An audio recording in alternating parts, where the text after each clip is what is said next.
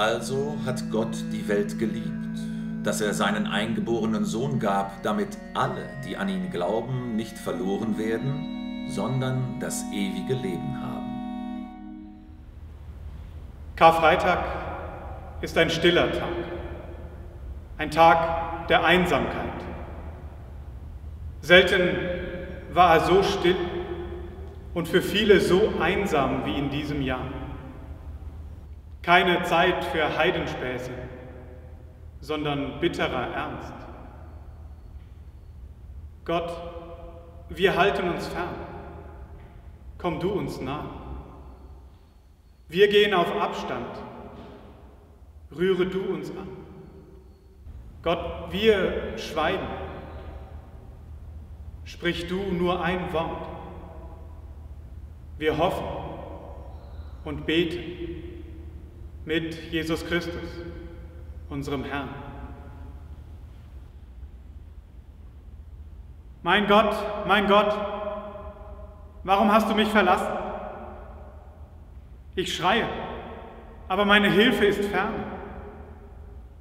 Unsere Väter hofften auf dich, und da sie hofften, halfst du ihnen heraus.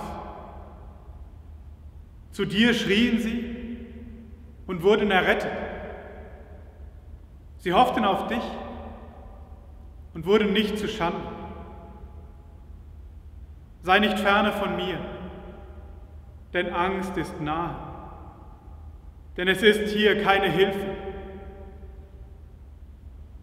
Aber du, Herr, sei nicht ferne, meine Stärke, eile mir zu helfen. Amen.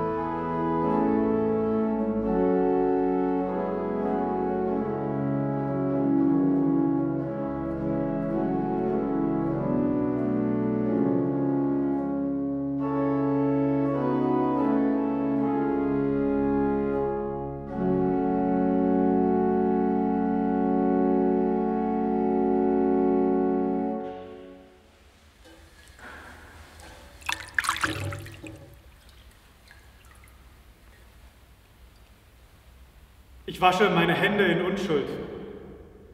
Mit einer sprichwörtlichen Geste zieht Pontius Pilatus sich aus der Affäre.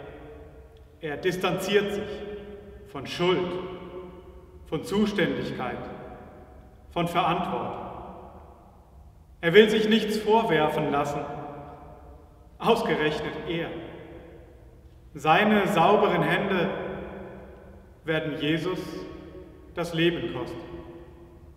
Händewaschen heute soll Leben retten. Aber nicht nur.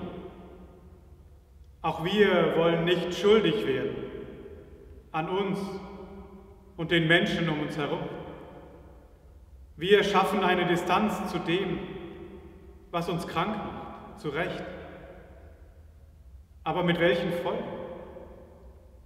Ich spüre, die Entfernung von unseren Nächsten droht zu einer Entfremdung zu werden.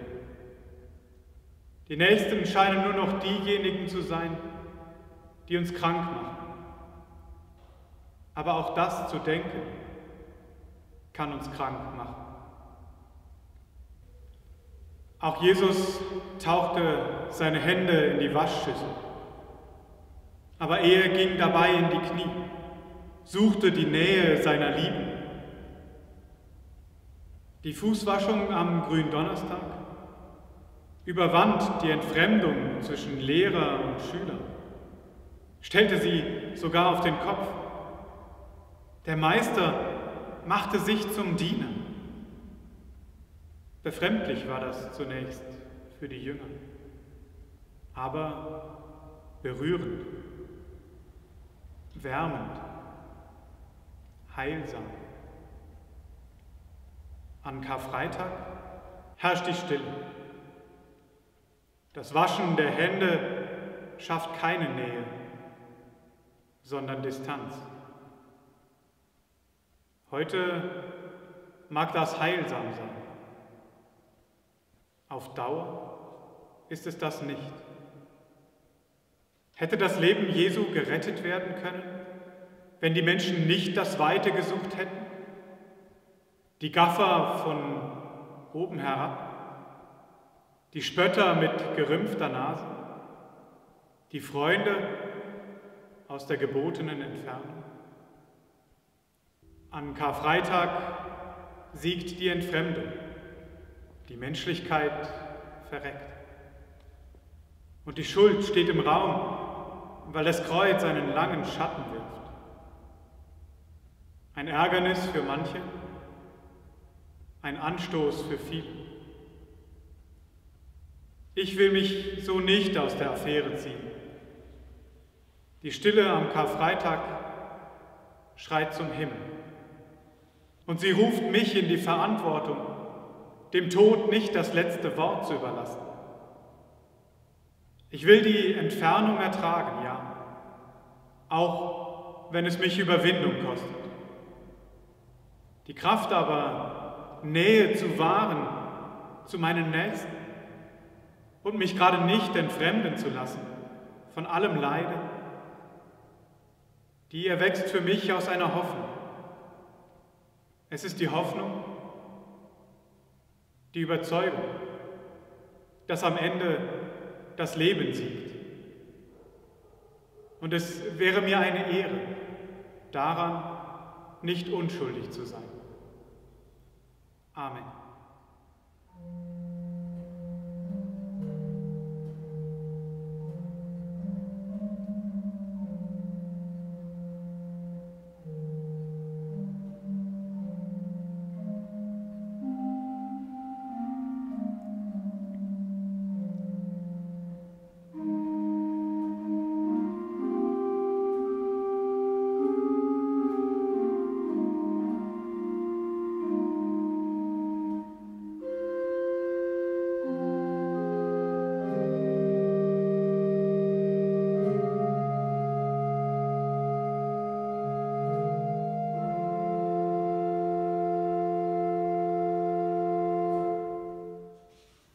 Aus dem Evangelium nach Markus. Pilatus aber ließ Jesus geißeln und überantwortete ihn, dass er gekreuzigt würde. Und sie brachten ihn zu der Stätte Golgatha, das heißt übersetzt Schädelstätte. Und sie gaben ihm Myrrhe im Wein zu trinken, aber er nahm's nicht. Und sie kreuzigten ihn. Und sie teilten seine Kleider und warfen das Los darum, wer was bekommen sollte. Und es war die dritte Stunde, als sie ihn kreuzigten. Und es stand geschrieben, welche Schuld man ihm gab, nämlich der König der Juden. Und sie kreuzigten mit ihm zwei Räuber, einen zu seiner Rechten und einen zu seiner Linken. Und die vorübergingen, lästerten ihn und schüttelten ihre Köpfe und sprachen, Ha, der du den Tempel abbrichst und baust ihn auf in drei Tagen, hilf dir nun selber und steig herab vom Kreuz. Und zur sechsten Stunde kam eine Finsternis über das Land bis zur neunten Stunde. Und zu der neunten Stunde rief Jesus laut, Eli, Eli, lama asabtani. Das heißt übersetzt, mein Gott, mein Gott, warum hast du mich verlassen? Und einige, die dabei standen, als sie das hörten, sprachen sie, siehe, er ruft den Elia. Da lief einer und füllte einen Schwamm mit Essig, steckte ihn auf ein Rohr, gab ihm zu trinken und sprach, Halt, lasst uns sehen, ob Elia komme und ihn herabnehme. Aber Jesus schrie laut und verschied.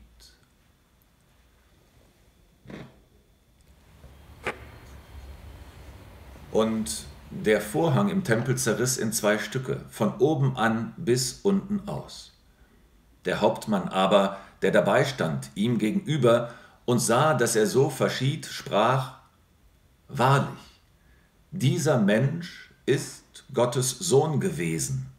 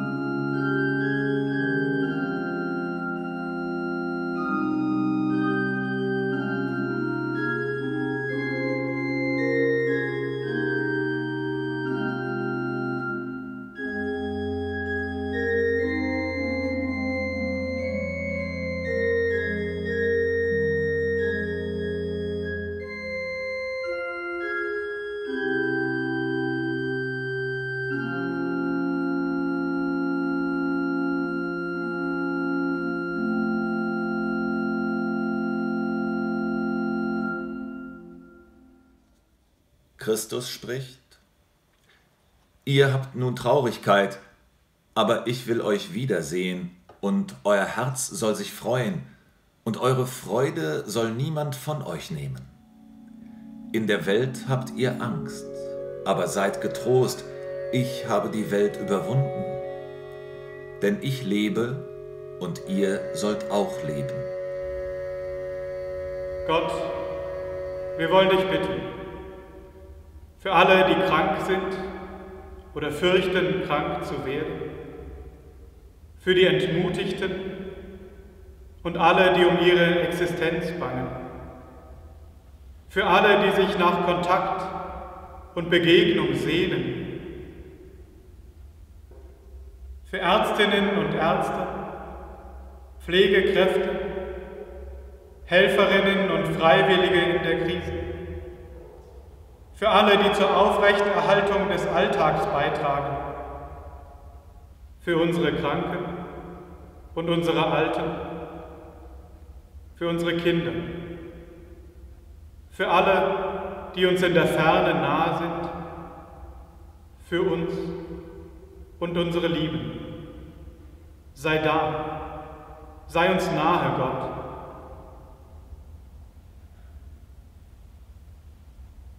Vater unser im Himmel, geheiligt werde dein Name, dein Reich komme, dein Wille geschehe, wie im Himmel, so auf Erden. Unser tägliches Brot gib uns heute und vergib uns unsere Schuld, wie auch wir vergeben unseren Schuldigern. Und führe uns nicht in Versuchung, sondern erlöse uns von dem Bösen denn dein ist das Reich und die Kraft und die Herrlichkeit in Ewigkeit. Amen.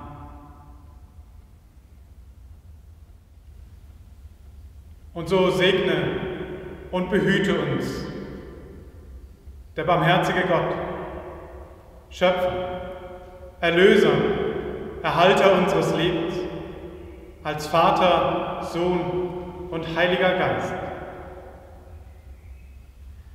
Amen.